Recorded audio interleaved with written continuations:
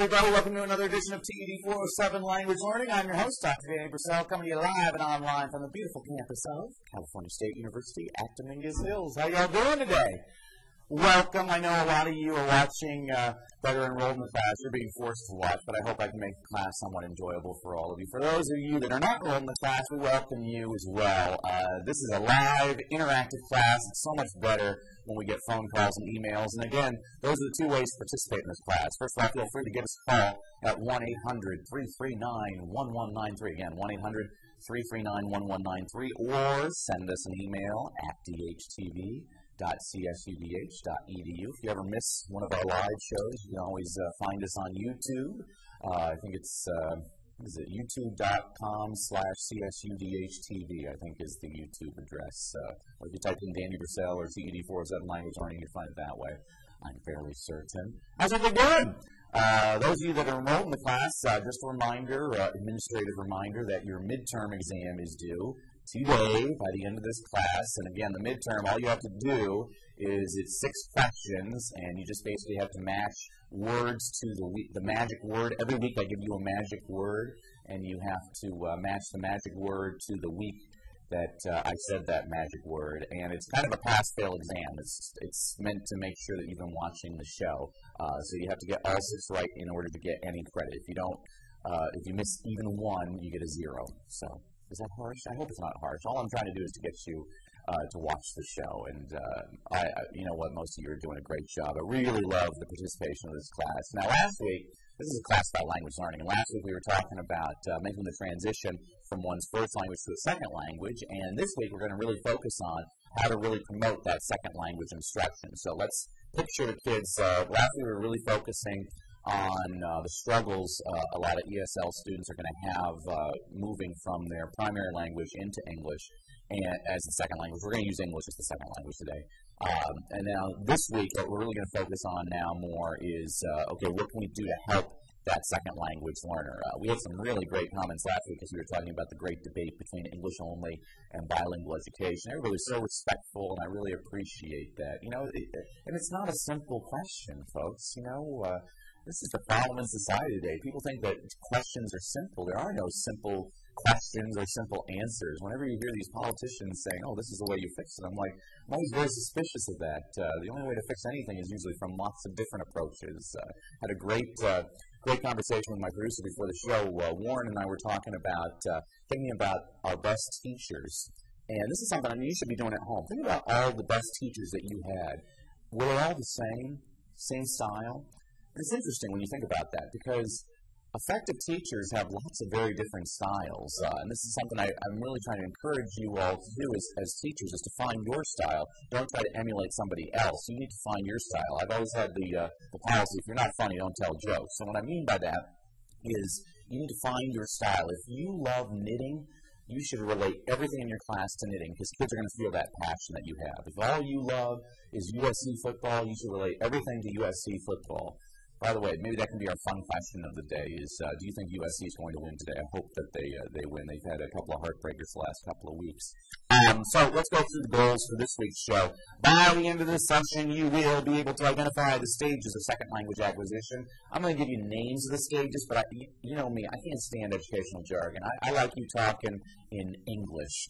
Um, you speak English really good. You know, I, I wanted I want you to be able to explain concepts, not to be able to just uh, uh, do rote memorization and give the educational jargon. So I want you to have a comprehension of what we're talking about. Uh, we'll uh, recognize characteristics of effective, effective, second language acquisition. I got a couple of really good uh, videos of some uh, teachers in classrooms. Uh, I know a lot of you are middle school teachers, and so I intentionally picked out a couple of middle school videos today. I, I often give you elementary or high school, so today it's for the middle school people, you know, and uh, I can make an I can make an argument for every type of uh, grade level for teaching. I mean, um, you know, high school, you know, you're really getting those kids off ready for life, and uh, elementary school, you're getting them excited about school and uh, engaging them as learners. But middle school, You know, first of all, middle school is like the Peace Corps. It's the toughest job you'll ever love. Uh, middle school is tough, but it's so rewarding. And here's what I always tell middle school teachers. As a middle school teacher, you actually have a, a real amazing chance to actually have that one comment that changes a person's life. I mean, when you think back to your best teachers, I bet a lot of you, a lot of you, had that one seventh or eighth grade teacher that said, "Oh, you know, uh, uh, Tomas, you're a really good writer. I, I, I expect to read a, a, book from you someday. And 20 years later, you're accepting your Pulitzer Prize, saying, you know, I remember my eighth grade teacher. You know, it's pretty cool that one comment can kind of have that impact. You know, my school teachers always said, Danny, you never shut up. Well, here I am today. So, uh, oh, and finally, our other goal is to understand a variety of methods of uh, second language instruction and reflect upon our own beliefs about what works best. So, what do you think works best? That'll be our question of the day. When thinking of your own attempts at learning a second language, what instructional strategies work best for you? I just read your language autobiography, so I know all of you have some really good ideas about this but I'd like you to be able to share them with everybody. So feel free to give us a call at 1 800 339 1193. Answer the question, or if you don't want to answer the question, talk about anything you want on language learning. I always love uh, talking to our callers. Um, so let's get into some principles of second language instruction. Uh, second, second, language acquisition takes place after a first language is already established. Now, I just made that statement, and yet a lot of your language autobiographies that I read uh, we're talking about how a lot of you learn two languages concurrently. Perhaps uh, mom spoke Spanish and dad spoke English. It was interesting because a lot of you actually have that where one parent would speak only one language and the other parent would speak only the other language. And you basically say you don't remember what was your first language because you developed them concurrently. And I think, wow, that's really ideal. Uh, and uh, it was it's interesting to read that you didn't have confusions over that because you really understood, uh, you know, dad is for this and mom is for that. It's, it's interesting. We can talk about that. Uh, children may have an easier time mastering second language pronunciation. We talked about that. We've said that several weeks. So it's based on uh, Krashen's notion of acquisition versus learning. Uh, acquisition is thought, learning is taught. Adults, well, kids acquire language easier, adults learn language easier. And what we've said is that kids don't have that uh, anxiety level. They experiment with lots of different things. And uh, meanwhile, adults have a lot more strategies. And that's what I want us to talk about today specifically. I want you thinking about that. What were the strategies, the specific strategies that work? Uh, because we can come up with lots of different strategies and share them with everybody. I think I, I think strategies spur lots of different ideas. I mean, you want to arm yourself with lots of weapons of mass instruction in your teaching arsenal. What one strategy works for this person, another strategy works for another person. It's really important that we uh, we have as many different strategies as possible. You know, it drives me nuts when you have a person that says, "Oh, the only strategies that work for every student are the ones found in my books." That is such garbage. The only strategies that I've seen that work for every kid are the ones found in my books. Another principle of second language instruction is research has demonstrated that adults and adolescents have cognitive advantage over children at learning a second language. We just talked about that, that uh, adults learn easier, kids acquire easier.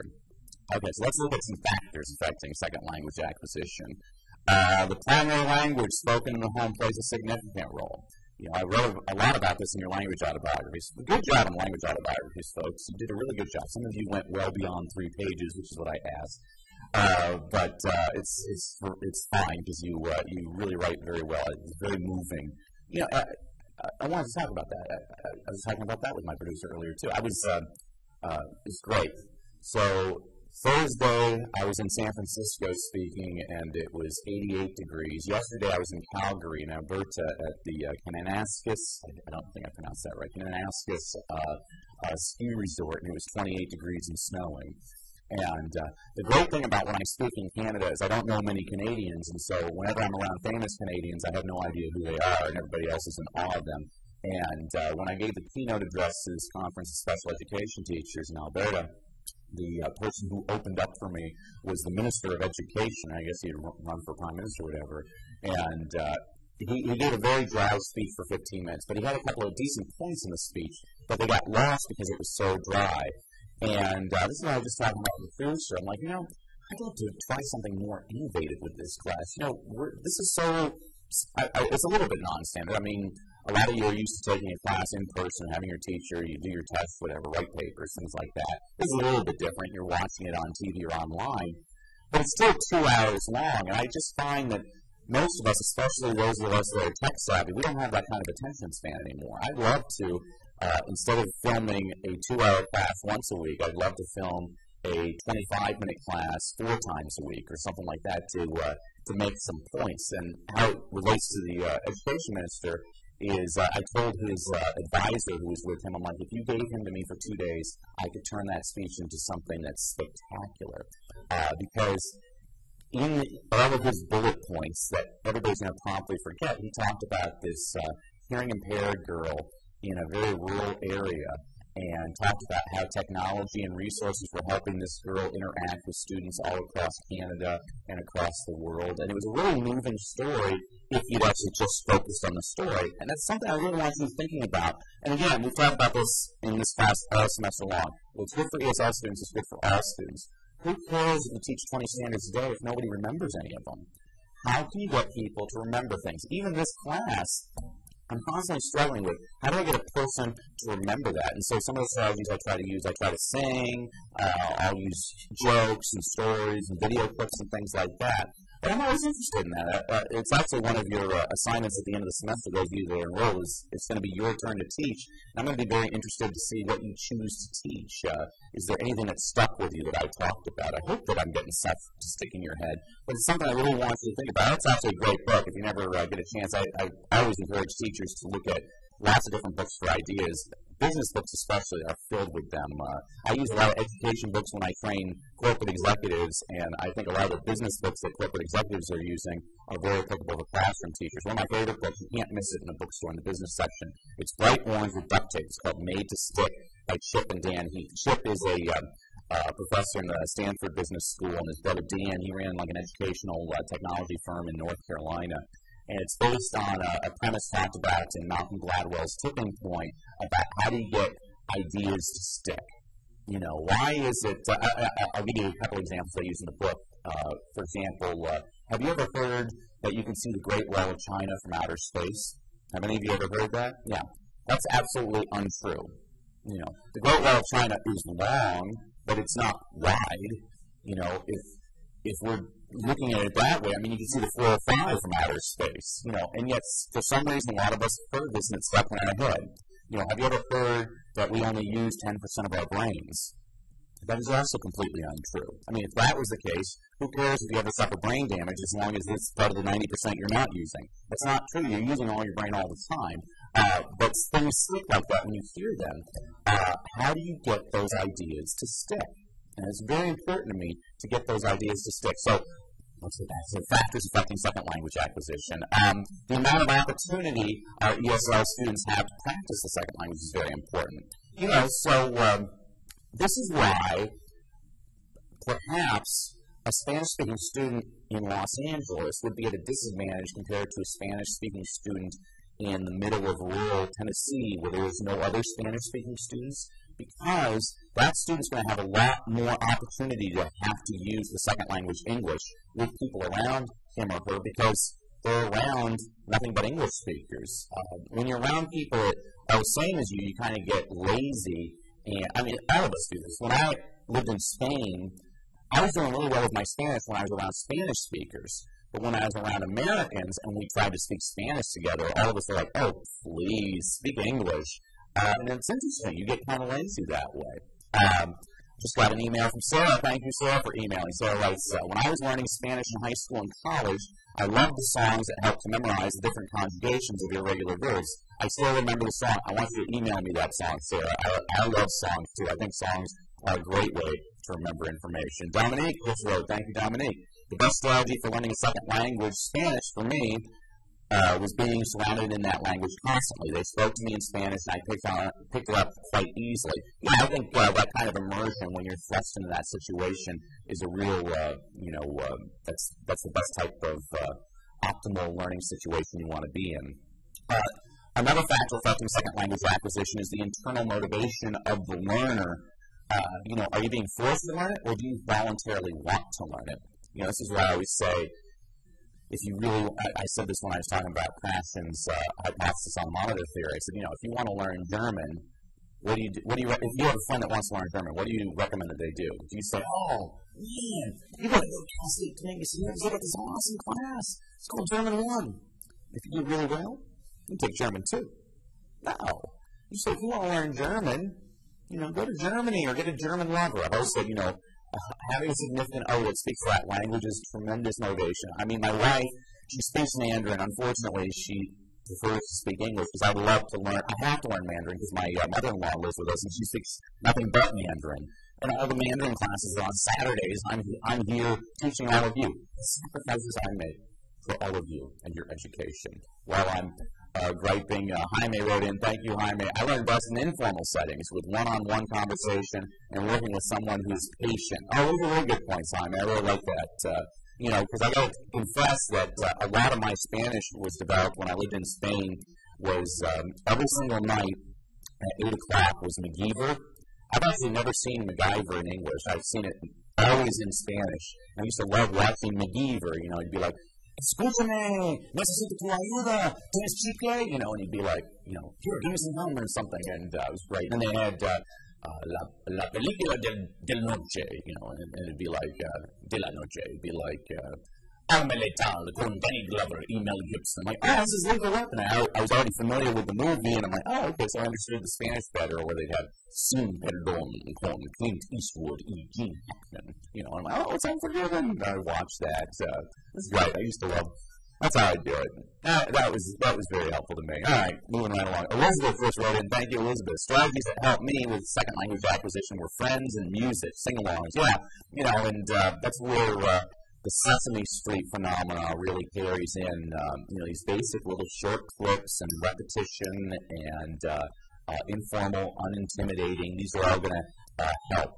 Um, the reason the second language is needed is also uh, a factor affecting second language acquisition. So, for example, I mean, if you need it in order to succeed in school and you're going to fail otherwise, that's pretty good motivation. We talked a little bit about this when we were talking about motivation a couple of weeks ago.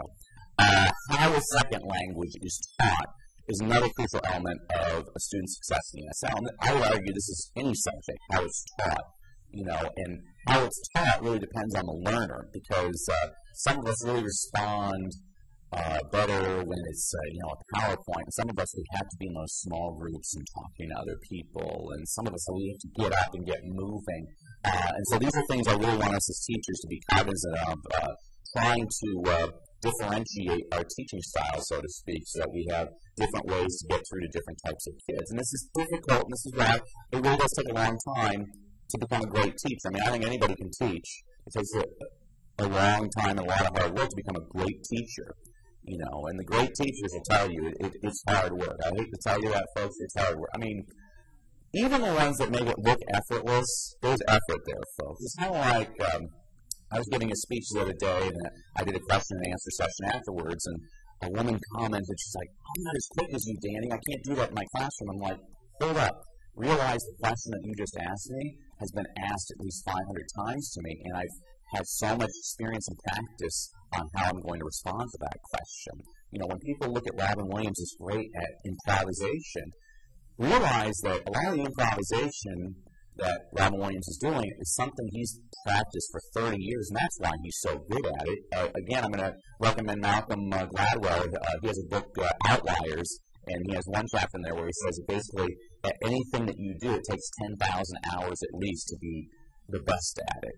And he has people like Bill Gates and uh, LeBron James and Will Smith all saying, you know what, I think that might be right. So uh, I think that's fascinating.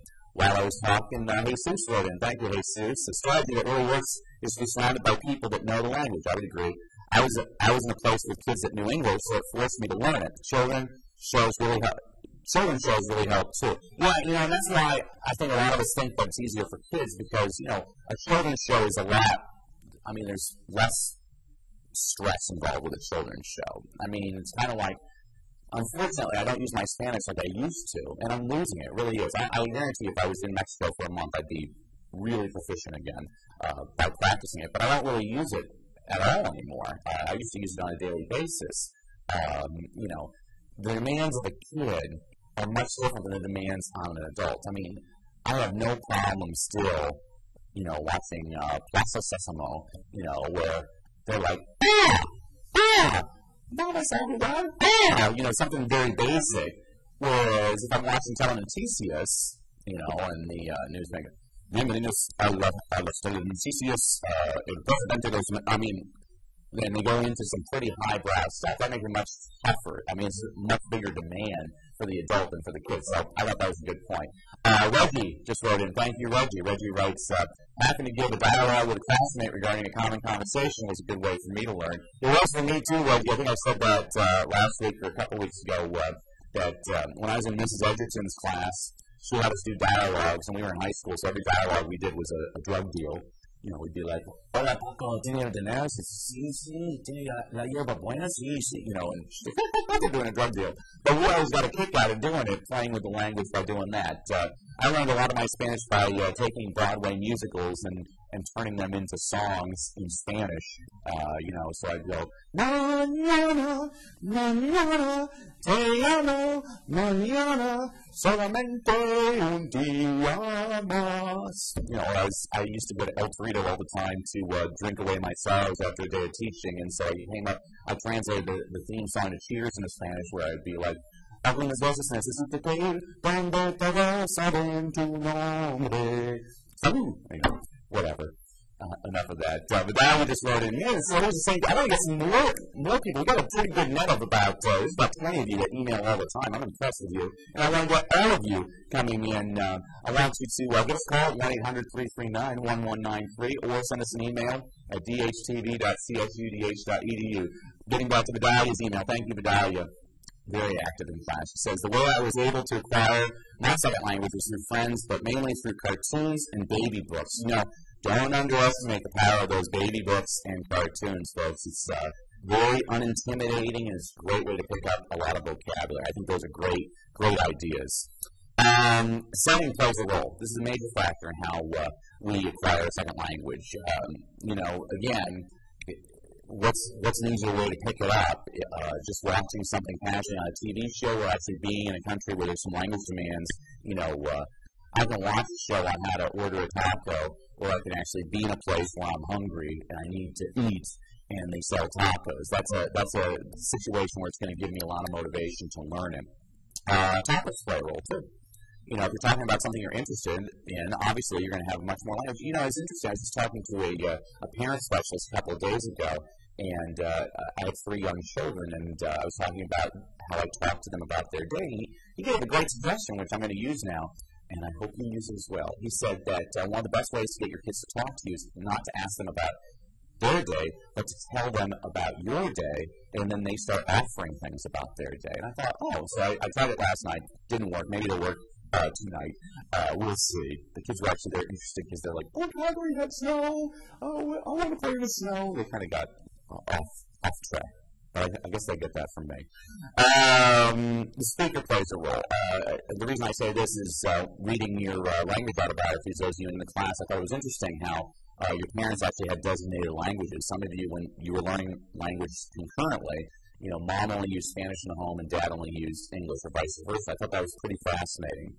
Uh, Allison just wrote in. Thank you, Allison. Allison writes, When I was learning Spanish, I used to put post-it notes around the house with the words of the objects in Spanish. It helped with vocabulary. I think that's an excellent strategy, Allison. I think I would love to see that in more classrooms. It's just a real easy way to pick up a lot of language.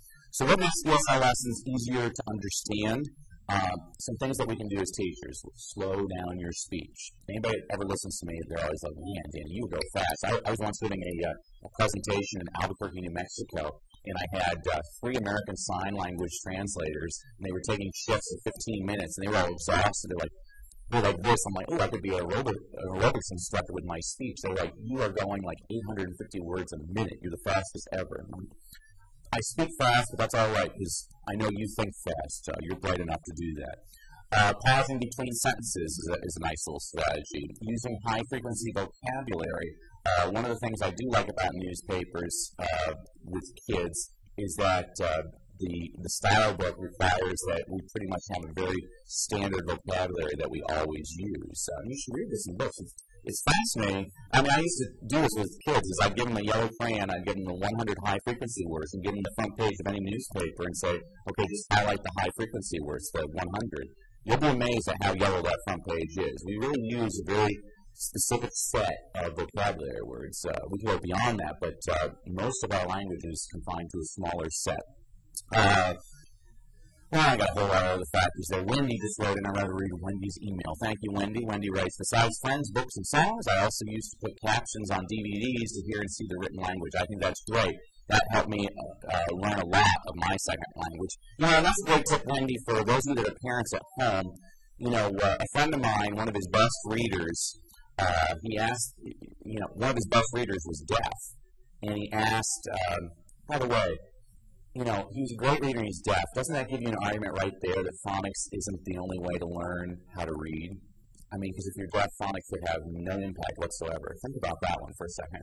Anyway, uh, this kid uh, was in first grade and he was deaf and he's the best reader in the class. And my friend asked him, well, why is he such a good reader? And the parents said, closed captioning since birth. And the moment I heard that, you know, in my house, we always have the closed captioning on. You know, a lot of people, you might not have books in the home, which is atrocious. You need books in the home. But if you don't have books in the home, having a television set and turning on the closed captioning. President Bush Sr.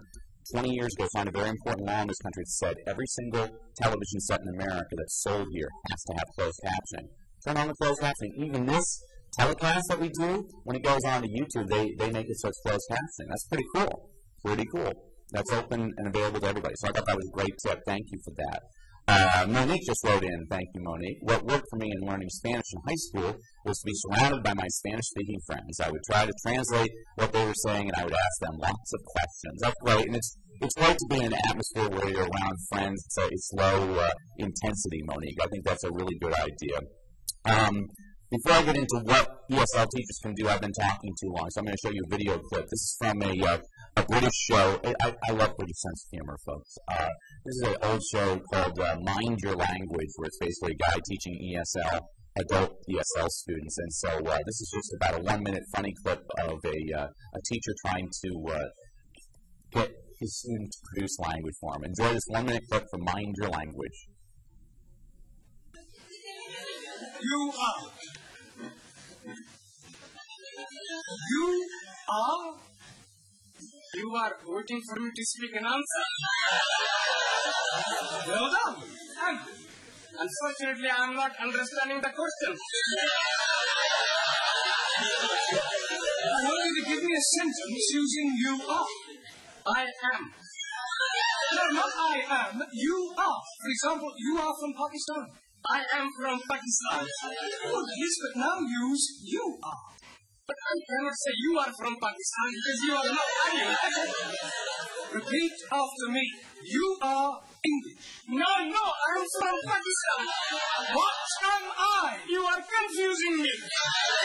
You are stupid poof.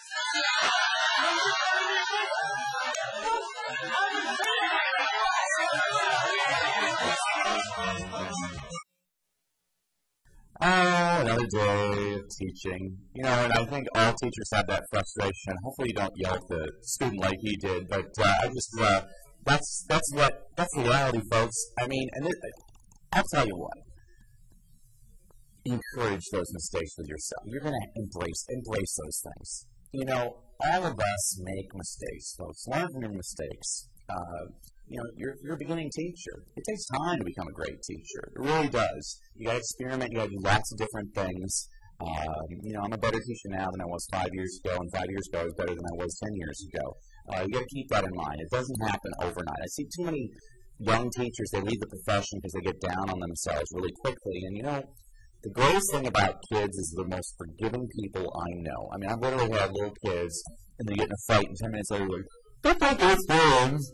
You know, I think that's lovely about children, and uh, children are a lot more forgiving, and um, you know, I think that actually all of us are pretty understanding of, of uh, the struggles. People, I hope that all of us are understanding. It's something I, I hope that you build that uh, patience and empathy, because I think those are two very good characteristics of excellent teachers. So, what can ESL teachers do to help out their uh, their ESL students? Well, you want to provide every student with opportunities to learn in different ways. We just talked about that.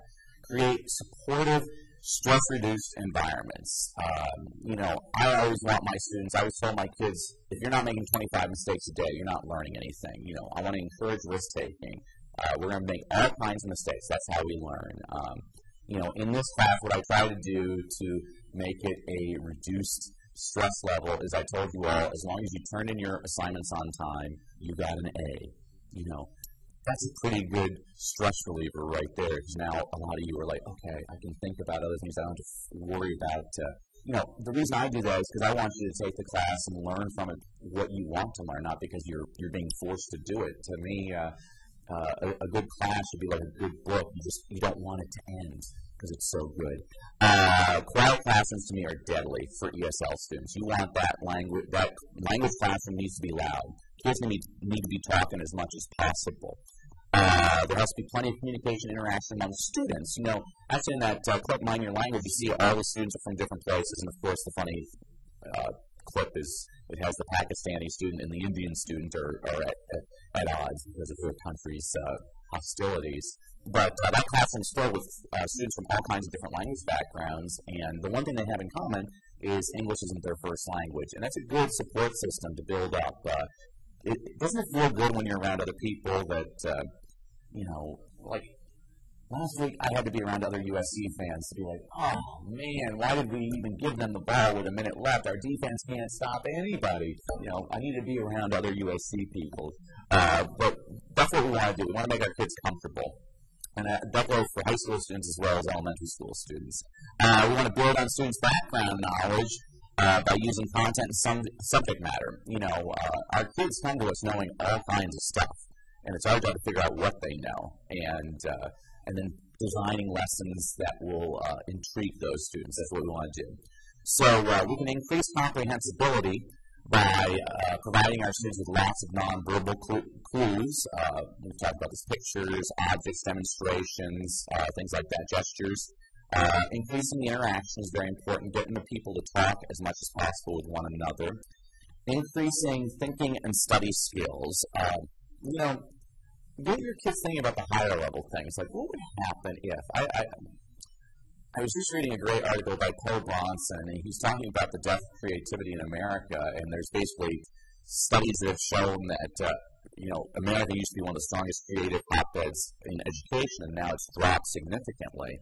And the Chinese are kind of laughing at us because the Chinese have adopted our model and we've adopted the old Chinese model. America's turning more into rote memorization and standardized testing, which is the old Chinese way. China's now really focusing on what America used to be, and uh, which was encouraging a lot of uh, problem solving and creative thinking.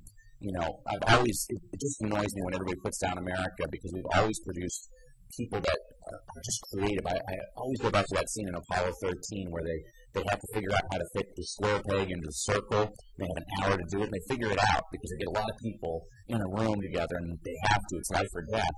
And I've always thought, you know, that's what America's all about. We rally and stuff.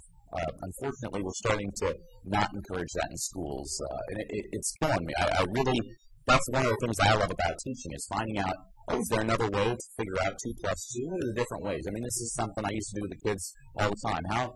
What's another way to get uh, to equal four? You know, so because of one plus three, two plus two. You know, and then some of them start going, well, five minus one is four. Uh, you know, uh, uh you take the uh, the days of the week and subtract uh, the number of um, consecutive national championships USC won in football and then you know figuring out different ways. I want I want my kids to be problem solvers and just thinking constantly.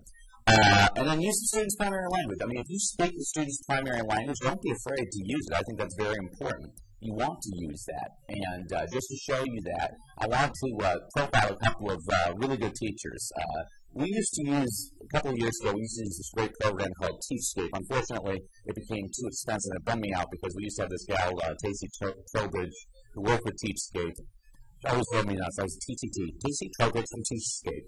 Uh, she's the kindest person in the world, and uh, she had this great computer software that we used to use. It became too expensive, so uh, we don't use it anymore. But there were some great videos, and uh, she kind enough to give me a couple of those videos. Uh, so this uh, first clip, this is about an eight-minute clip.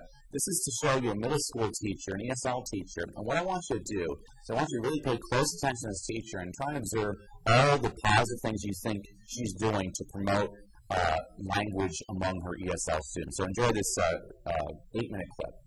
With our objectives, okay? We begin every lesson with the students focusing on the objectives for the day. Today we will identify and form literary, literature and figurative descriptions. Great. Good for you. Thank you very much. Um, remember, we're talking about self-portraits. We read the Gary Soto story in here, remember? You guys are continuing to work on your memoir. And a portrait is what? What is this? What is this? What is a portrait? Connecting prior knowledge to current learning is important for all students, but it's especially important for ELL students because it by itself provides a kind of scaffold. We create pictures of ourselves to show the world all the time. We do that in our writing, we do it in our speaking, and we do it through our art. Today, I want to focus on how poets express themselves, because you guys are poets too. Okay, let's look back to the Harlem Renaissance Project. Remember the Harlem Renaissance Project? What was the most famous poet that we studied in Harlem Renaissance? Langston Hughes. Who has a favorite poem by Langston Hughes that you put in your box? Dreamkeeper. Dreamkeeper. Bring me all of your dreams. All you dreamers. You dreamers. We really enjoyed the poetry of Langston Hughes. So when I was brushing up this unit for this year, I said, okay, let's start with a Langston Hughes poem that they haven't read before. Let's look at it, enjoy it, everybody loves them. And then that can be the springboard into the lesson on figurative language. Because you are to me a song, I must not sing you over long. Because you are to me a prayer, I cannot say you everywhere. Because you are to me a rose, you will not stay when the summer goes. What do you think the poet's talking about? What I think He's talking about um, what you want, um, that she's like dead and that Ms. Formoso asks open-ended questions to encourage a range of ideas. This also encourages students with varying levels of English proficiencies to participate. Okay? There is no wrong interpretation to poetry, but everybody gets to have their own interpretation. That's what's so good about poetry. You get to think whatever you want about this poem. Diego, what do you think about this poem? Yeah, I think there was like uh, that he had like a crush or something on this girl, but he couldn't like speak to her and he couldn't like tell her wherever she went, and then she moved when he was about to tell her the summer day. Ms. Formoso elicits ideas and language from her English learners, which allows her to begin the lesson at the student's level of language development and content understanding. She uses their contributions to begin to move toward the objectives of her lesson. Let's look at this poem in terms of the the poet's imagination. He's using his imagination, is he not, to talk about his love? I mean, when you look at a person, do you see a rose? No. No. What allows you to see a rose when you look at a person? She might be pretty. She might be pretty. A rose is like a pretty lady. I think you had a thought earlier. Her heart is like a rose. So he's seeing, he's using his imagination to see through the person into her heart, and it looks like a rose to him. There's a lot of expression here. We know a lot about the heart of this person by this poem, don't we? Okay, Ms. Formoso models the activity using the overhead and demonstrates how to participate before asking her English learners to complete the activity in their small groups. okay? So, I wonder what's in here. Something really exciting here comes. Are you ready? wow. Okay? Let me show you. You're gonna use your imagination. Am I? You're right. What is this thing? Hang on, hold that thought. Hold that thought. What is it really? What are you going? A staple remover. Okay? This is a staple remover. See this column that says literal description? Okay? Staple remover. I already heard some people using your imagination to come up with something else. Okay, here I am. Here I am using the staple remover and going, ah! The staple puller, no, this isn't a staple puller. This is a monster. This is not only a monster, this is a fanged monster because it bit me.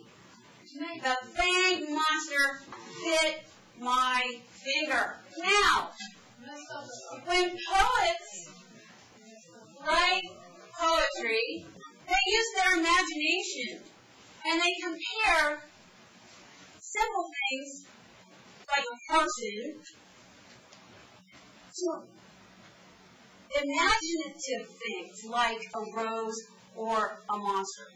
So here's a literal description. It's a staple puller. Okay? The figurative description might go like this. The fanged monster. The main scaffolding tool in this lesson is a graphic organizer. Middle school students are really able to use those well because they can think abstractly enough to get the concepts. They can begin to organize their thinking with the help of a graphic organizer and then carry it forward into some of their other work.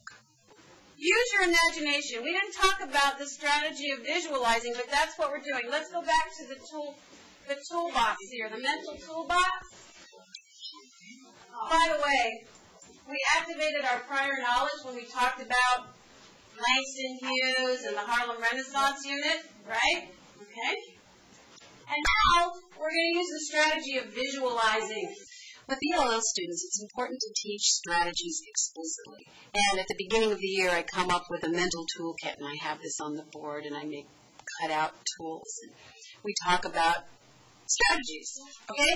So this is the way the game's going to go. This is you're going to take one item out of the bag at a time. You're going to talk about that's that's this negotiate figurative descriptions in groups, that objective. And then when you share your figurative description, we'll guess which of the objects you're talking about. The rat, she is. Another way Ms. Formosa scaffolds the activity is by allowing students to work in small groups before having them work on independent writing projects. This allows her English learners the chance to further develop and share their ideas and make choices about how to present them in English. Magic carpet, see? Frederick ran off and with the magic She used the chopsticks. I use the chopsticks to eat the food. Great ideas, everybody. So there was all kinds of great things that Miss Formosa was doing. First of all, dream dream class size, huh? Very small class. I, I mean, uh, this is one of those little factors a lot of people don't look at when they look at teacher effectiveness. I'm like, yeah, it's a lot easier to be an effective teacher if you got 10 kids in your class as opposed to 30. You know, uh, so that aside, uh, she was doing all kinds of great things. I was hoping that you were paying attention to. Um, she went over the objective before the lesson, and you know, I'm not a big fan of saying it the way it's stated, state the objective and everything, but I do want my kids to understand the point of what we're learning, and more importantly to me is to show kids the, the broader picture of why this is important to learn. Um, she slowed down her speech, which was great. Uh, she was using open-ended questions. I, I really like open-ended questions. I had a, a history professor in college, and we used to mess with him because uh, you could never have a wrong answer with him. He'd be like, "Who was the first president of the United States?" And the person would say like Thomas Jefferson. He'd be like, "Well, yes, in a way, he was a founding father." He always show us how it was uh, it was right, but it was cool because it wasn't it wasn't very intimidating. And uh, I hate this right or wrong answer because uh, most of life isn't black and white. Most of life is gray. So I actually like open-ended questions. I prefer open-ended questions. Another thing she did, which I like, she uses student names. Did you catch that? It's it's a little trick I've learned. Uh, using students' names is just a great way to uh, make them feel like they're part of the classroom. It's just a little thing, uh, but to me, it's really important. Uh, it's it's very different when a person uses your name. Um, she elicited language of students. They talked about that on the video. Uh, I like that grab bag she used. That's something you don't see enough in middle school and high school classrooms, uh, eliciting uh, some interest through that grab bag, and then she gave students the actual manipulatives.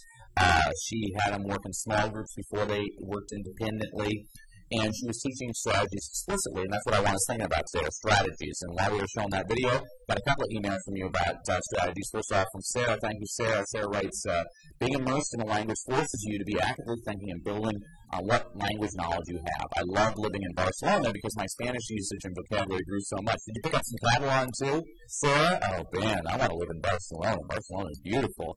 Thank you for emailing, Sarah. Victoria just wrote in. Thank you, Victoria. She writes, what helped me acquire English was watching TV shows only in English and making a friend who only knew English that I was forced to practice with. That's really good when you can only communicate with the person in that language. Those are good ideas. Thank you, Victoria. And Karina just wrote in. Thank you, Karina. The strategy that helped me to better understand English was watching Sesame Street. Completely underrated show, I think. I mean, Sesame Street's done a lot for people. All those songs were great, especially the number song. Which number song, Grant, was it? 1, 2, 3, 4, 5, 6, 7, 8, 9, 10, 11, 12. Or is it, uh, the other one I like was 1, 2, 3, 4, 5, 6, 7, 8, 9, 10 You know, I, I, can go all day with those. I love those, and I have little kids, so we, we still do that. Uh, thank you for that email. Cindy just wrote in. Thanks, Cindy. ESL teachers can use visual aids and hand-on hands-on activities to deliver content. Use routines to reinforce language. I don't think you said the word routine, Cindy. I think that predictability, that routine, is a real good uh, motivator for students. They have confidence in the situation. Um, you know, once you go to El Torito and successfully order a beer, you now know the pattern and you can do it again. Uh, the same thing in any situation, though. Uh, you, once you have that positive experience, you tend to uh, now feel like you can uh, confidently undertake that experience again. Love that idea. Sue just wrote in good second language strategies. Find a friend who also wants to learn the language and talk. Absolutely right, Sue. Thank you for that one. So I want to go through some stages of uh, second language acquisition. We talked about stages of first language acquisition a couple weeks ago, and I'm going to give you some names for these stages, but I don't want you to be freaked out by the stages, the names. I don't, I don't care about the, the specific vernacular. I just want you to get the concept. So uh, we're going to talk about five stages, beginning with stage one is the silent receptive or pre-production stage, and uh, this can last anywhere from 10 hours to six months. Uh, it's a silent period, basically. This is the kid that may not speak but can respond uh, by maybe pointing to an object, something, something like that. Uh, they can, you know, perform an act or a gesture. Teachers should not force students to speak until they're ready to do so. So you see, it's a little bit different than when you're acquiring your first language. You're coming out of the womb, you're babbling and things like that. You're not obviously doing that with second language. You already have all the language tools of your first language, but uh, you are kind of quiet because you're a little bit self-conscious because you're not able to communicate. Very typical. And people have different degrees of self-consciousness on that. This leads to our second stage, which is the early production stage, and this takes about another six months after the initial stage. Um, you know, this will have you know, usually speaks in one or two word phrases, and uh, they can demonstrate of uh, knowledge of comprehension of new material by giving short answers simple yes or no, either or, who, what, where, who, what, and where questions, things like that. Moving right along. Stage three, you get to the speech immersion stage. This can take up to another year. Short phrases and simple sentences are what these students use to communicate. Um, they're able to answer simple questions. So we want to give people uh, simple questions. You don't want to ask a kid in a speech immersion stage, you understand English well. Can you explain the president's health care package now? I mean, this is not a simple concept to explain. You want to ask simple questions. You be like, uh, uh, what is your favorite food? That is a simple question. Uh, what is your favorite food? Use sentences, complete sentences. This is, oh, oh, I should have given you that a long time ago. This is something I use too. Personal thing, I don't let kids give me one answer responses, one word answers. They have to always phrase answers in a complete sentence. Because I want my kids to be good writers, and a good writer is going to use complete sentences. And I think it's a good way to model things. It's a personal thing, all of us have our thing. Moving right along, stage four, the intermediate language proficiency stage. Again, I don't care if you learn the terminology. I just want you to see that there's definitely different stages a kid is uh, progressing through. This may take up to another year after you're your uh, speech immersions. Uh, but now the child's beginning to make, uh, or the adult, now the ESL students making complex statements. They're able to state their opinions, ask for clarification, and share thoughts and speak at greater length. And finally, from stage four, we get to stage five, which is the advanced language proficiency stage. Uh, and this is what um, Thomas was talking about. This takes up to about five to seven years after you've mastered the basics. You're now developed, uh, you've developed some specialized area vocabulary. So for me, my Spanish in a classroom is very good. Uh, it's not as good if I was in an emergency room. You know, it, would take me a while to learn the terminology there. And I, I think probably a lot of you can relate to that because a lot of you in your language autobiographies are talking about, well, I learned because I work in a restaurant. Well, you would have pretty good vocabulary as it regard as it applied to that restaurant, or you know, if you work in a law firm, you pick up the legal terms. In education, you have education terms. So that situation plays a big role. Um, you know, an advanced person at the advanced level, they can participate fully in grade level classroom activities uh, if given occasional extra support. Um, and they're pretty comparable to native speakers, but we want to give them that extra support. Okay, we're back to, you know, I always like to give you a break halfway through. Before I go to the break, I wanted to show you another good teacher. This is another good uh, uh, middle school teacher, and I, I, think this is maybe about a seven minute clip, maybe eight minute clip. Uh, but I want you again to pay attention to the strategies this teacher's using. She's different than the other teacher, and I, love showing you different teachers, folks, because I want you to see that there's different ways to get through to kids. And all of us we have to teach the way that we're comfortable teaching. So enjoy this uh, this clip. This is uh, Miss Morais, uh, and this uh, video clip is courtesy of TeachScape. We are going to be continuing a long-standing unit, which has incorporated a social studies unit on Cesar Chavez in his life, and they've done an essay on their first days in the country, and kind of the experiences, what they expected to find, what they actually found. And so we've been talking a lot about how you can communicate feelings with adjectives and figurative language. So we're talking a lot about similes lately. All right. Yesterday, we were sharing ideas, remember? And remember, yesterday you were sharing the ones that you said, this is my most creative idea. Ms. Morais is careful to repeat the key concepts throughout the lesson. This strategy provides many opportunities for students to develop comprehension of the material and to hear the language they are expected to use. What else do we have to share? Catherine? Oh, uh, smelly? Smelly? Smelly. Oh gosh, this is going to be fun. Okay. uh, smelly as tuna expired. I love it as expired tuna. That's beautiful. Ew. For this lesson, I really want kids to start thinking outside the box. I want them to know that there is so much more to adjectives than beautiful and ugly, and how that they can really use those things as forms of self-expression if they grasp the idea that they communicate feeling, they communicate how much and to, to what extent, what degree they mean what they're saying. Okay. These are some really great examples, and they're not the same examples that you hear all the time. Son diferentes. Son interesantes. Y creativas también. Okay, they're very creative, very imaginative. I love your ideas here. Today, we're going to be looking at a poem. So everybody's going to get a copy. One, two, three, four. I want you to take one minute to read the poem, okay? And then we're going to talk about it. Let's look for title, the name of the artist, the author is the artist, el and this poem's going to have something we've been learning about. I wonder what it could be. Ideas. I see some thumbs up. I see some ready ideas. Let's try right up here.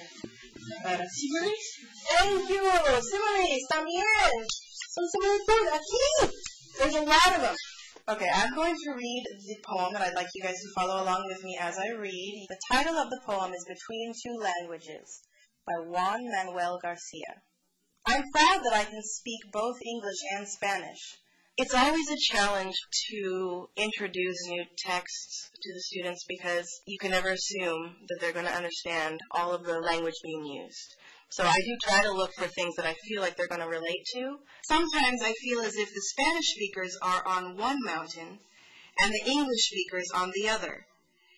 And I wish I could push them into the river so we could all be together. Okay, we're going to read the poem together. If you want to read, give me a thumb. Okay? If you don't want to read, that's okay. Si no quieren leer, está bien. But what are you going to do with your finger? Mm-hmm. You're going to follow along, right? Okay, the first two sentences. Please read for me, Sonia. I can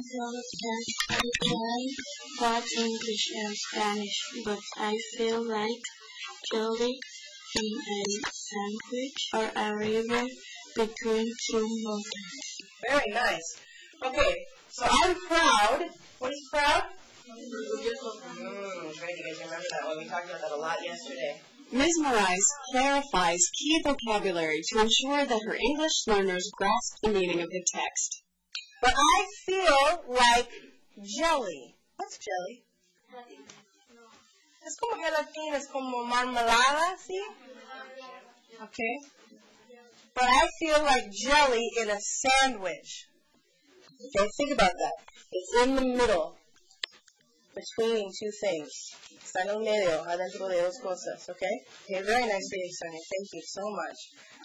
Sometimes I feel as if the Spanish speakers are on one mountain and the English speakers are on another. Let's picture that. Can you see that in your head? Let's do a picture. Okay, Father. All right.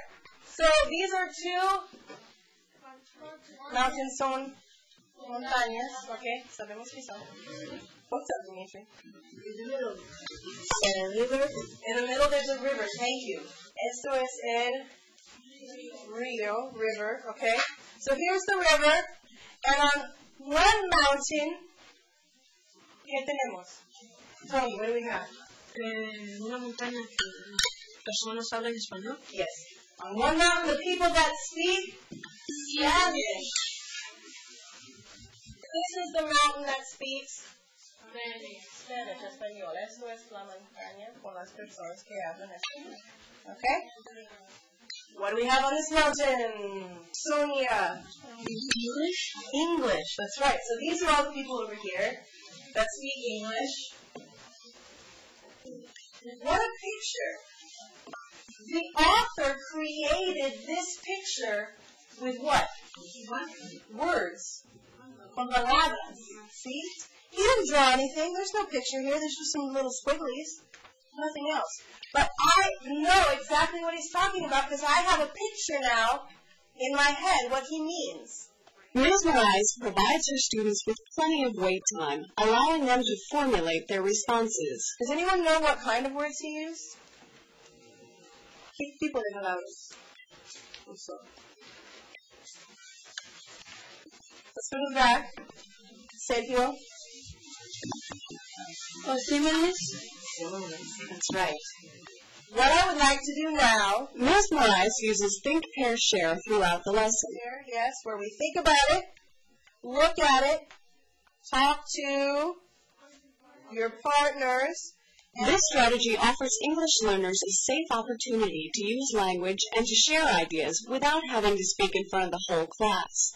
This is what I want you to share, what I want you to talk about. I want you to look for something in this poem. They use the words like and as, and they're called? All right. Very nice, you guys, okay? Wasn't that a pretty good teacher? I mean, I, isn't it interesting watching different teachers? Folks, again, if you really want to become a great teacher, watch as many teachers as you can, because all of them are different, and all of them have things that I love to liberate. I never steal an idea from another teacher. I liberate ideas and expose my students to them. Look at all the things Miss Rice was doing that were fantastic. Uh, I, I just wrote down a whole bunch of notes. Uh, first of all, she uses lots of gestures. Uh, that's very helpful for a, a second language learner. Uh, she repeats key concepts constantly. That repetition is a real good confidence boost to students because they get to hear it more and more. Uh, and if you can write it down, it's even better getting it visual for the students so they see it time and time again. It's kind of the premise between behind uh, the TV show Blue's Clues. Blue's Clues, the producers of Blue's Clues took Sesame Street and developed a, a show that was even better for kids. What they do is they run the same episode five days a week, and the kids actually build up their confidence throughout the week. It's actually a really good show, especially for uh, ESL students. Um, Ms. Morai spoke slowly. I appreciated that. Uh, you know, uh, here's something she did. Um, uh, a student uh, offered her some feedback. Uh, she asked the student a question, and, and the, the uh, girl gave her an answer, and then Miss Morai said, This is going to be fun, and she smiled at the student, and the student, did you see the big smile all of a sudden? To me, that's teacher effectiveness right there. That's not going to be measured with a number. That that was measured to me, though, me- measurable. Uh, she she was making the student feel proud of her response. When somebody makes you feel like uh, your input is uh, is nice, it, it gives you this good feeling, and you want to provide more input. That's a good teacher. She's encouraging her her students to talk, as opposed to like faculty meetings here at Dominguez, you know, anytime I offer a suggestion, people are like, well, that won't work. We tried that 25 years ago. You know what? I just sit there quietly writing songs all meeting. It's ridiculous. Whereas I used to be on a, a, board for uh, Bookends, my nonprofit I love to talk about in here that gets books for kids. And uh, I always offer tons of crazy ideas. And the rest of the board like, oh, that's great and great. And maybe not every idea was great, but they always made me feel like I was add, I was adding to the conversation. And that's what I really think a good teacher does. Miss Rice was doing that. She was encouraging creativity. I love that. You know, it's not something I see enough of in classrooms today. I see so many teachers who are like, when my district shows I have to use this freaking meeting program. I'm like, yeah, but once you close the door, you teach what the book says, but a good teacher goes beyond that and spices it up. You know, you can have a hamburger, or you can have a hamburger with some cheese and some lettuce and some tomatoes and some chipotle sauce and avocado, and all of a sudden you got Carl's Jr. there all of a sudden. So uh, that's what I'm, I'm looking for in a teacher. Uh, anybody can flip burgers. I want people to create masterpieces in the classroom.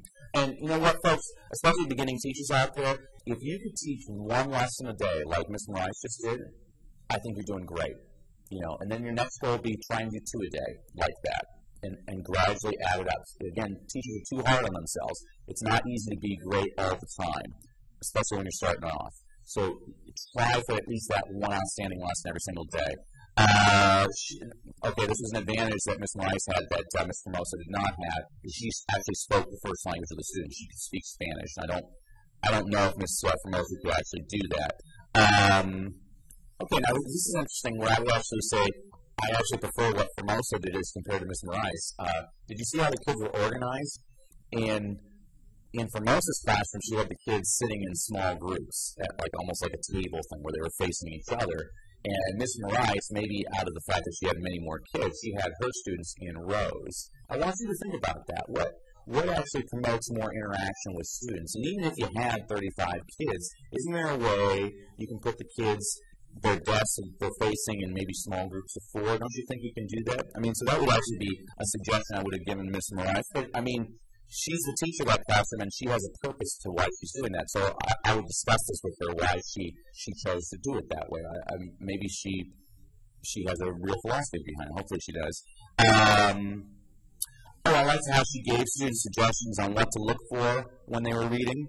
Uh, I thought that was great. Did you see the thumbs up, thumbs down? She was asking kids for understanding, which is great. Quick nonverbal for the teacher to figure out, okay, who who's getting it, who isn't, and it wasn't She's always using very good tone of voice. I thought that was fantastic. Uh, she never made me feel like I'm going to be stupid if I put my thumbs down. So I like that. She was encouraging. Um, the poem that she picked to read with the kids, it had something to do with their own cultural background. Isn't that good? You know, I mean, uh, Miss Formosa had predominantly Hispanic students, and uh, the poetry she was using was from Langston Hughes, which is African American and fantastic poet but maybe if she had found something from maybe a, uh, a Spanish-speaking uh, poet, it would have been more applicable for those kids. Uh, would have reached their background knowledge. Uh, again, you know, and that's not to disparage uh, Langston Hughes, because if, if, you want to know one thing about me, I love using poetry in the classroom. And if you want to read a great poet, read Langston Hughes, one of the best ones ever. Uh, but I, I really, when I'm starting to get kids into poetry, I'm trying to find something that's a that's a way to get into their background knowledge. So uh, I like to find things that are rich. If I African American students, I'm definitely going to find Langston Hughes. Um, one thing I think all kids appreciate is humor, so that's why Shel Silverstein and Jack Prelutsky are two of my favorites to get the kids excited about uh, poems that way. Uh, but I did like that she picked something that was related to the backgrounds of the students. Um, when she when she asked for people to read aloud, she actually asked for volunteers. You see how that's calming presence, folks? I see too many teachers they pick on a kid and what if you don't feel very well about what you're about to speak, what, what you're about to read? Don't put a kid on the spot like that. And I, I know if you, if you always have the same kids always answering everything, well, then you are going to have your popsicle sticks or something like that to encourage full participation. But I don't like to ever put a kid on the spot until I know that they know they're going to be successful. So I thought that was a nice little thing she did. Uh, she reviews key vocabulary and she clarifies it with the students. Great.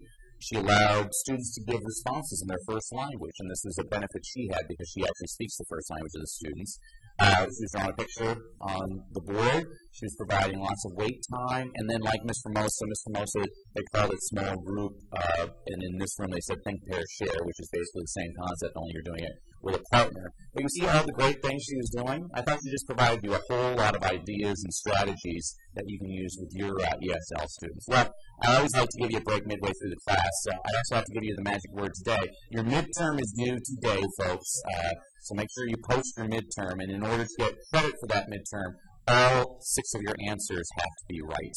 Uh, it's either pass fail basically on this one. So make sure they're all right. I'm giving you a magic word now because your final exam is going to be the magic word starting from today. So this is week seven. So your magic word for week for week seven is compassion. Have some compassion, everybody. Compassion. Uh, uh, that's the, the word of the week. Okay. Well, that was the word of the week. Hopefully you wrote that down. Uh, we're going to go to our break right now. When we come back, I'm going to do a, uh, a read aloud from a Paul Harvey story, one of my favorite read alouds of all time.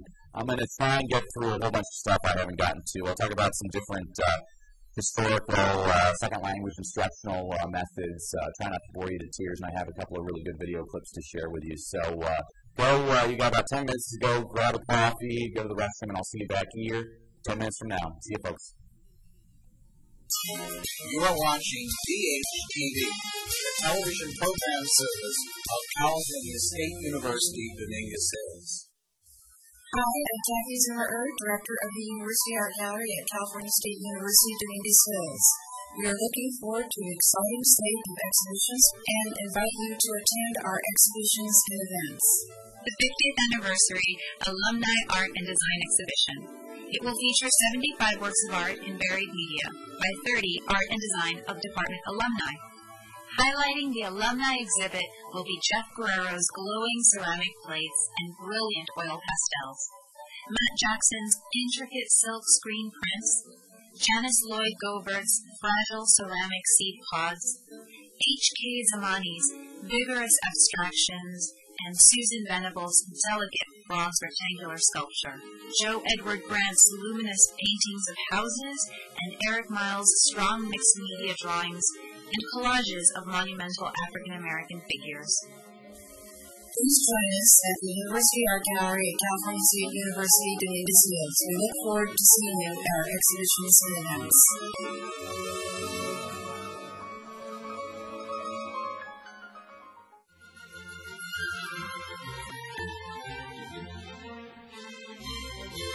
California State University Dominguez Hills Department of Theater and Dance have made it easier than ever to attend a performance on campus. You can now go online, buy a ticket, and choose your seat all with a click of your mouse. Just go to tickets.csudh.edu, click on Buy Your Ticket, choose your seat, and you'll be on your way to the theater.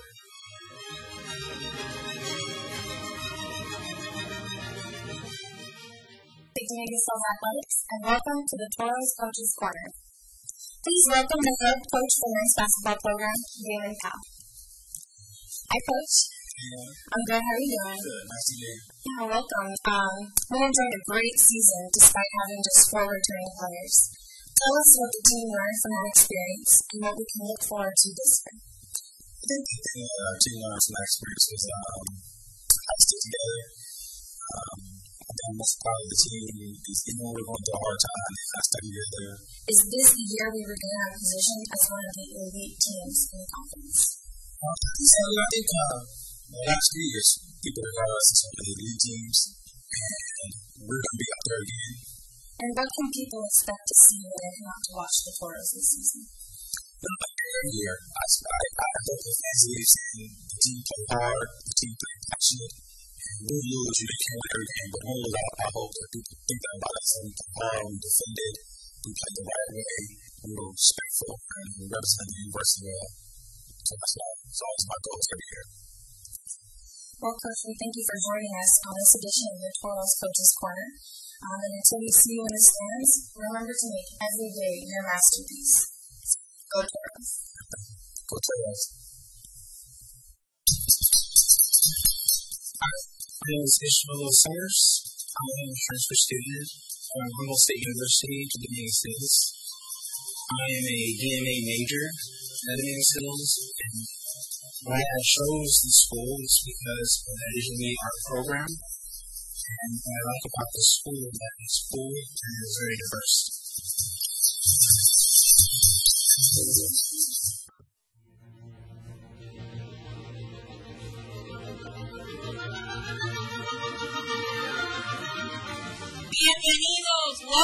Everyone to this very historic moment for Cal State University Dominguez Hills' We Unveil Manifest Destiny. As we celebrate this magnificent work of art, what we're celebrating is the richness of our community, the richness of our university, the richness of all of the people that come to California State University Dominguez Hills and the leaders that helped us be where we are today brings to light one of the one important asset that I say is what makes us so special, the multi-ethnicity of our institution. As we celebrate our 50th anniversary, these are really historic moments. They are our points of pride that will last a lifetime. And I thank all of you for all of your work and dedication. Thank you so very much.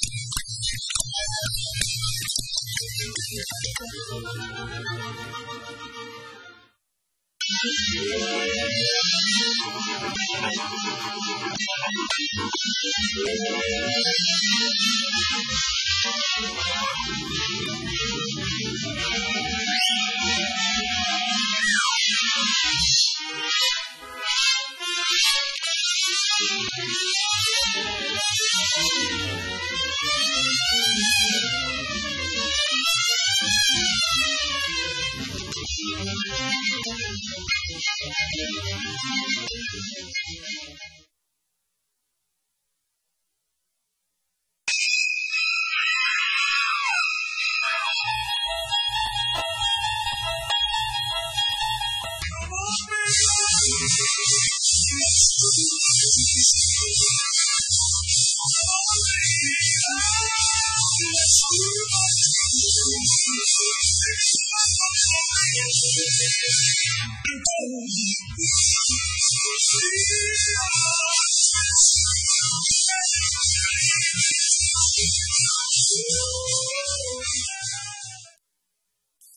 my name is Angelica. I'm currently a junior here at Dominguez Hills.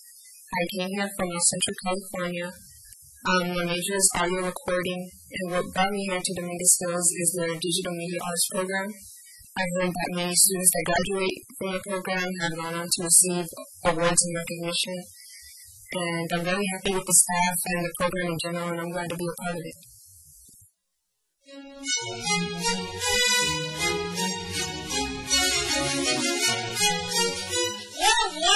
To celebrate our 50th anniversary. The program, the faculty, the staff, and students have ensured that this library represents the multiple cultures that represent not only CSU Dominguez Hills, but the entire South Bay of California. And for that, I think we need to thank Dean Parham, faculty, staff, students, and of course our members of our board of trustees.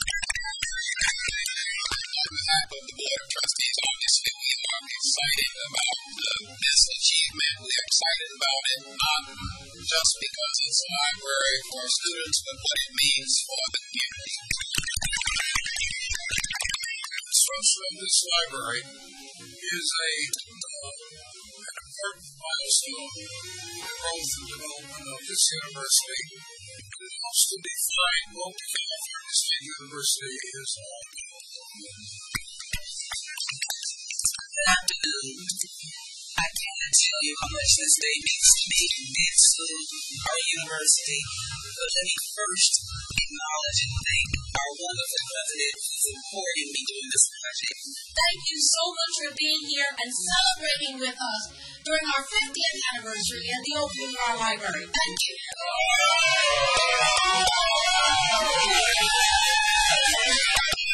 Come on, next paper. Sweet.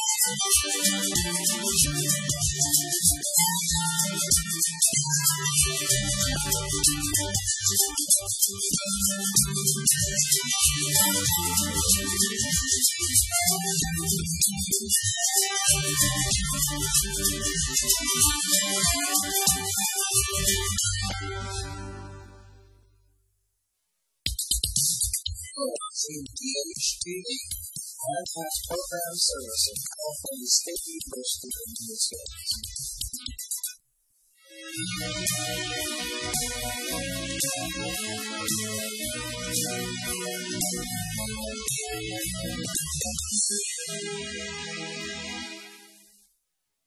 Welcome back, everybody, to TED 407 Language Learning. I'm your host, Dr. Danny Brassell. I'm the live and online from the beautiful campus of California State University at Dominguez Hills. It's still dreary outside. I'm hoping it's raining. I don't want to take my kids to soccer today. I just want to spend the day at home with my wife and kids playing dominoes. That's what I want. Uh, spend some quality family time. It's too busy. Are you too busy?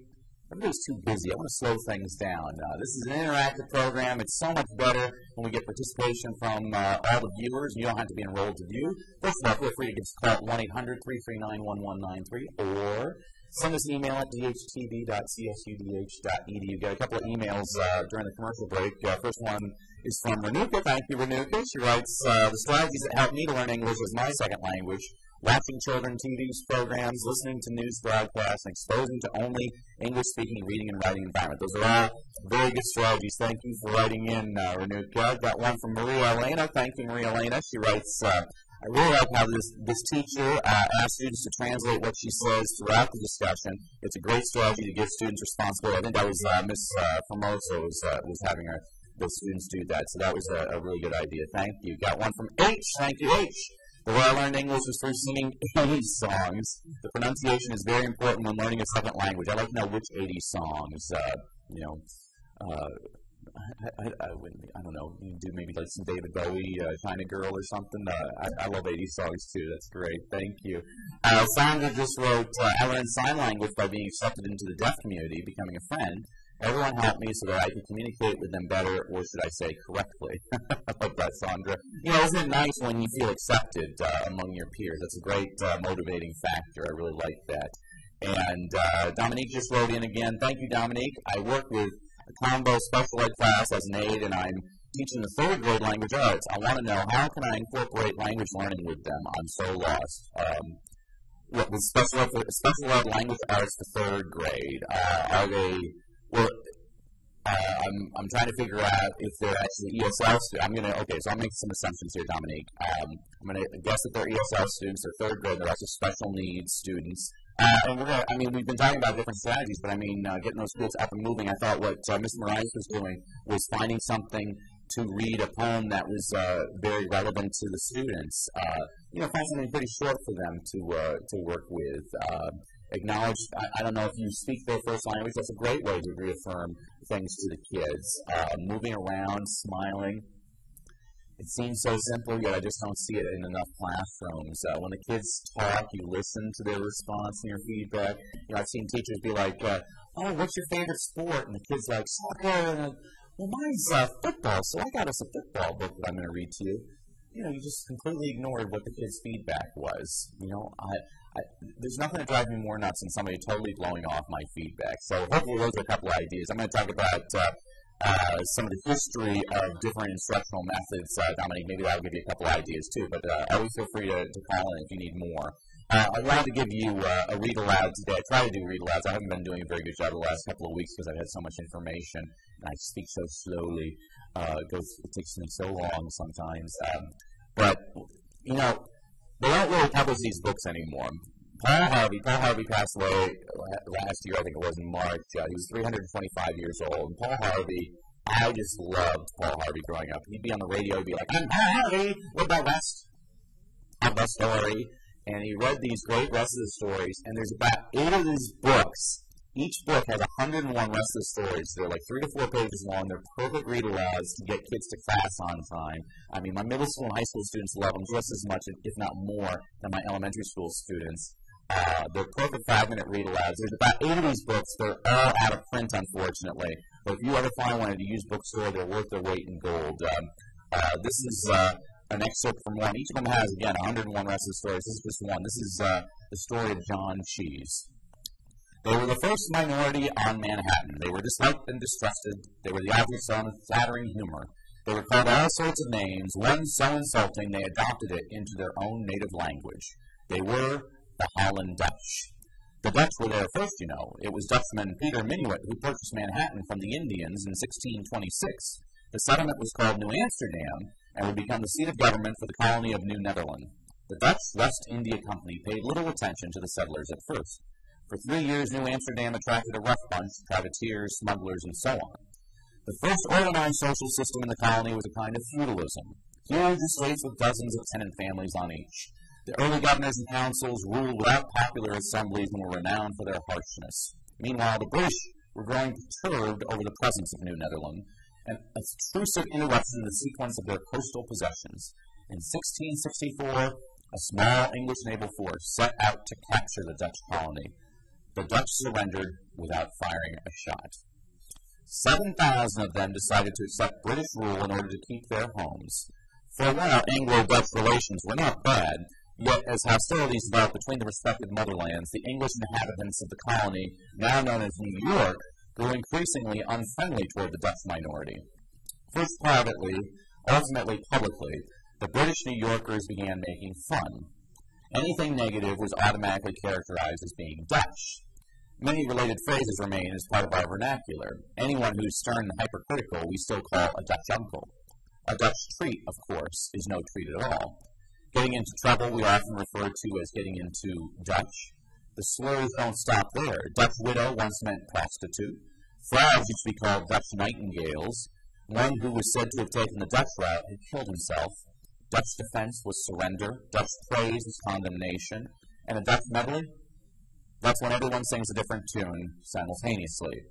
And the list goes on.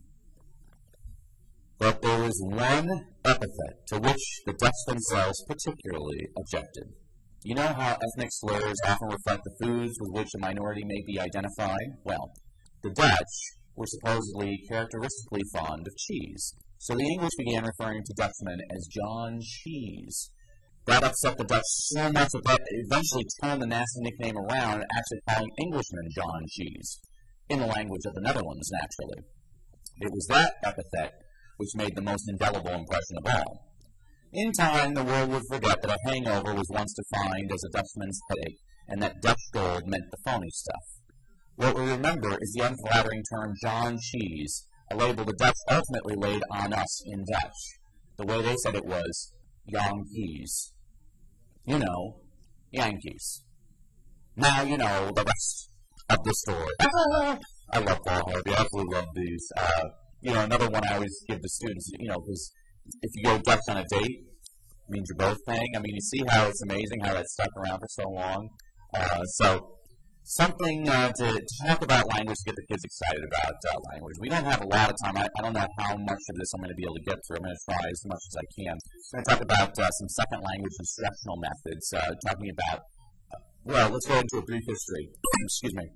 Modern language education has its roots in the study and teaching of Latin you know, Latin was the big one because the Bible was printed up in Latin that went around the world, and so Latin became a language of instruction. By the end of the 16th century, French, Italian, and English displaced Latin as the languages of spoken and written communication. the study of Latin diminished from the study of a living language to be used in the real world a subject in the school curriculum, and all the Romance languages based on Latin. It's very good to know the Latin. It helps you in your French, your Spanish, your Italian, your English. Uh, it was then claimed that its study developed intellectual abilities and study of Latin grammar became an end in itself. So this is why you have schools even to this day, like in Boston, the high school, the Latin Grammar School. It's a, a Latin school. Now, based on academic study of Latin, students of modern languages did many repetitive exercises studying grammatical rules and translating abstract sentences. Oral work was minimal, as students were required to memorize grammatical rules and apply those to decode written text in the target language. Tradition-inspired method became known as the grammar translation method. So, did any of you ever have that grammar translation method? Um, again, this is what they basically used this predominantly in, in Europe in the 19th century. The focus was on grammar. Uh, they gave you uh, direct translations to memorize. It was taught in the student's primary language, so even if you were learning Latin, you were studying it in your primary language, whether it was Italian or French or in English. Uh, it gave you an isolated word list. Little attention was paid to context in language, and there was little or no attention given to pronunciation. This was very much focused on grammar, the written, the reading and writing component of language. Now, next method I'm going to talk about is the direct method. This is also sometimes called the natural method. This is also sometimes known as the Berlitz method. If any of you have ever uh, seen those Berlitz books. I gave you a, a, a, commercial a couple of, I think it was last week, uh, the Berlitz commercial uh, on, uh, you know, we are sinking, we are sinking, and the German Coast Guard's like, what are you sinking about? Uh, and they say, take a Berlitz class. Well, Berlitz, here's his study. He was basically, his story was, he was a, uh, a French teacher in Connecticut, and he caught some disease, bronchitis or something. Um, I don't remember. Do I have it in my notes?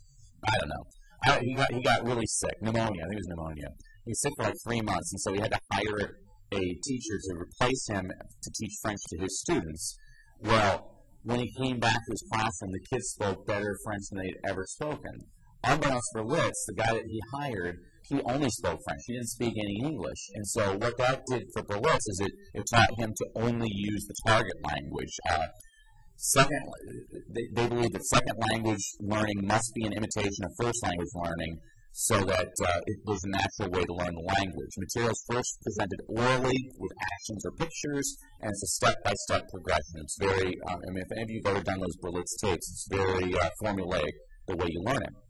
Now, the series method is another method of second language instruction. It's a variety of the direct method. This was uh, popularized, it was basically created by a guy, um, uh, a Frenchman named uh, Francois Gouin, uh, in the 19th century, where the guy he tried to memorize 30,000 words in German in 30 days. I mean, and basically he was blind by that point, but he wasn't proficient. Uh, and then he found out that his um, his uh, three-year-old nephew learned French in three months spent visiting France, and that drove him nuts. And so he developed the series method, where you learn uh, the second language through a series of concepts. Language he finds best learned through context, through a chronological sequence of events. Language is learned in sentences, with the verb as the most crucial component. You know what? I'm going to go through these as quickly as I can because I'm getting bored telling you about them. Um, you know what? I'm going to go through them very quickly because I have video clips that are much more interesting than me talk, talking about this. Those of you that own the ebook, I go into it in depth in the ebook. Read it and, and uh, read it and probably weep.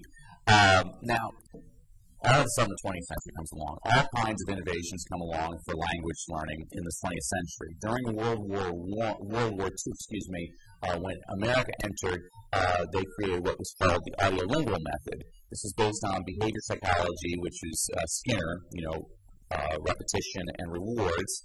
Uh, it's, it's, all based on habit formation. You want to uh, condition the response.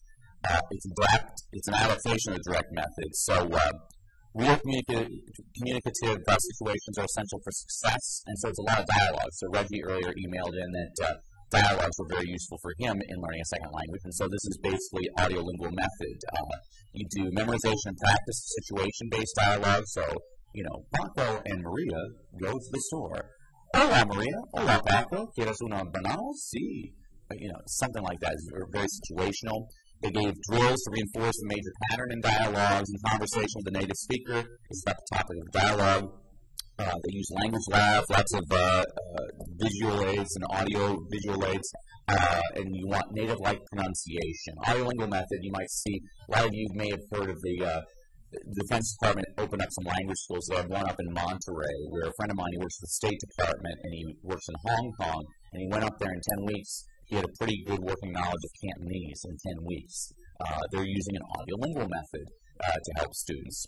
Now, the counseling learning method that came along uh, later, uh, I don't remember exactly when, maybe the 60s, 70s, uh, was developed by a guy named uh, Charles Curran, and it's adapted to the peculiar anxiety and threat that a language can present to a student. So it's really appreciating the fact that it ain't easy to learn a second language. There's a lot of fear factor there.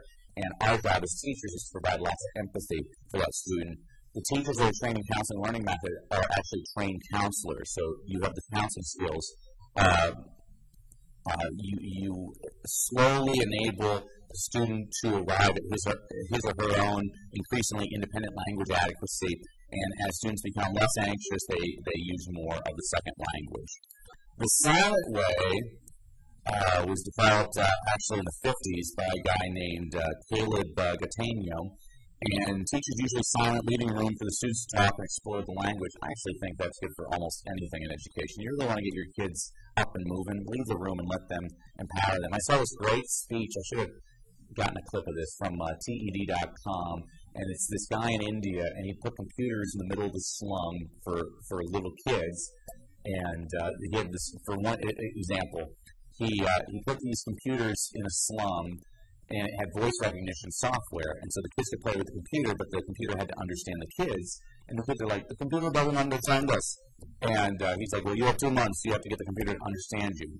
So he returns in two months, and in two months' time, he comes back, and these little kids growing up in a slum in India were speaking with a completely proper British accent so that the uh, computer could understand them. And he had never taught them a thing. The kids had to figure it out on their own. I thought that was just a great idea. Um, all right, so Silent Way. You know what? I'm getting bored talking about all these. Oh, I'll, I'll talk about TPR. TPR is one I like. That was developed by uh, James Asher in the early 1980s. TPR stands for total physical response. Here's what it means in English. You got to utilize gestures. I mean, all of these are building up to.